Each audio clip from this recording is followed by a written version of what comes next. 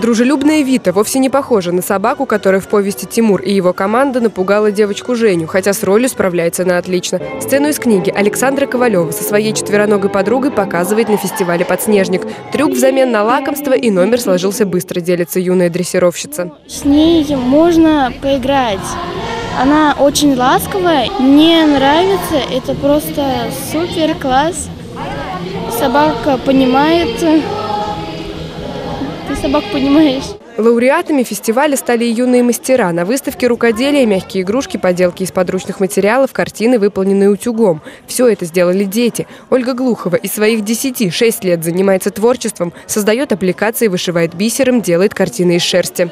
Я умею делать мандалы. Вот это, это как оберег, можно сказать. И вот это крутится нитками на палочках. Бывает шести, бывает двенадцати. Сейчас это не двенадцать. От чего он оберегает? Ну, он отпугивает нечистую силу.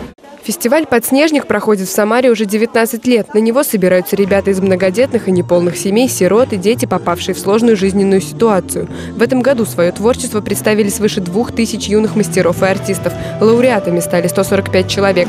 В день закрытия фестиваля, которое прошло в лагере «Волжский Артек», с творчеством участников познакомились первый заместитель главы Самары Виктор Кудряшов и председатель городской думы Галина Андреянова. Для гостей также провели экскурсию по лагерю и показали, в каких условиях отдыхают дети. Конечно, таким детям, э, которые э, остались, может быть, без родителей, которые находятся в приемных семьях, ну, э, за ним, им нужна особая забота, потому что они на самом деле как подснежник, то есть это нежный цветок, хрупкий цветок, лишены зачастую бывают в раннем возрасте родительского внимания, любви.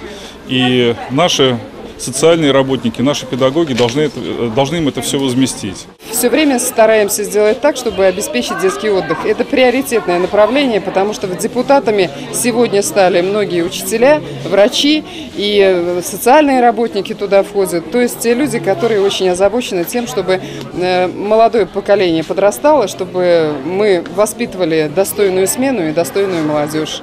Чтобы дети занимались творчеством в достойных условиях, в лагере обновили корпуса, соорудили бассейн, а также Волжскому Артеку выделили средства на дальнейший ремонт. Алина Чемерис, Дмитрий Мешканцов. События.